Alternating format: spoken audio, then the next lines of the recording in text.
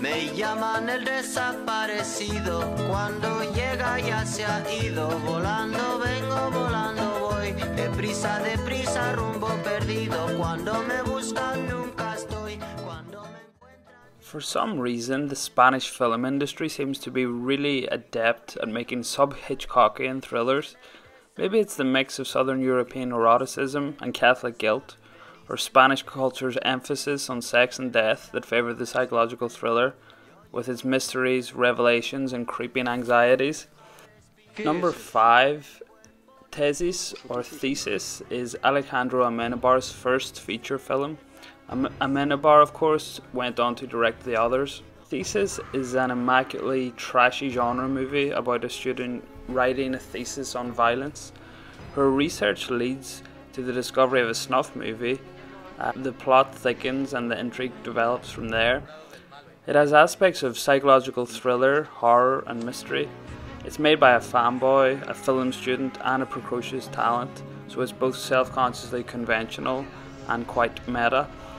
This film is shot in Madrid, where Amenabar studied, and it's very distinctly Madrileño.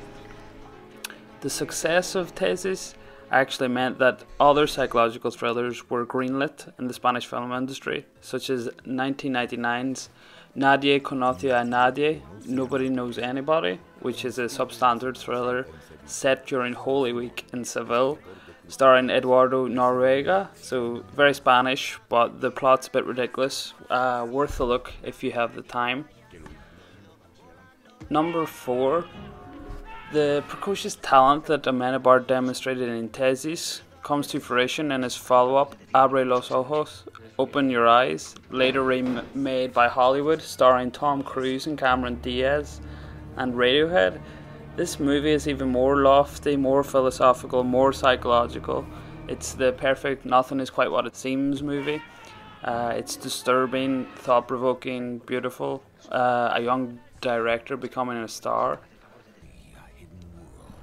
Number three is The Orphanage, which is a bit of an instant classic from director Juan Luis Bayona, touching on classic ghost story themes such as skeletons in the closet, repressed memories, trauma, illness, and tension in family and marital relationships. It's beautifully shot, great pacing, uh, compelling, and really scary. Uh, it has the perfect gothic orphanage, uh, a fantastic rain scene, and some really nice photography of the Catalonian coast. Although it's in Spanish and shot in Spain, it's made very much uh, with an eye on the world market in terms of style, tone, and filmmaking conventions, but that doesn't stop it from being a great movie. Number two is Los Cronocrímenes or Time Crimes, directed by Nacho Vigalondo and released in 2007.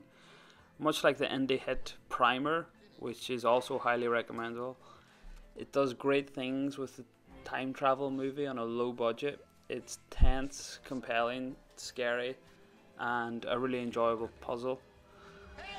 Es solo cuestión de tiempo. Number one. The success of the orphanage meant that the producers reinvested their profits and brought in some new talent. The product was Hierro, released in 2009. It's a particularly melancholy and harrowing psychological thriller about personal child tragedy, the loss of a child, mental illness, fear of going on holidays, finding oneself in a hostile environment, and the very sinister nature of car ferries. And lastly, uh, an honourable mention goes to La piel que habito, or The Skin I Live In, by the much celebrated Pedro Almodovar. It's a great, creepy thriller, notable for some beautiful photography of Gothic Galicia.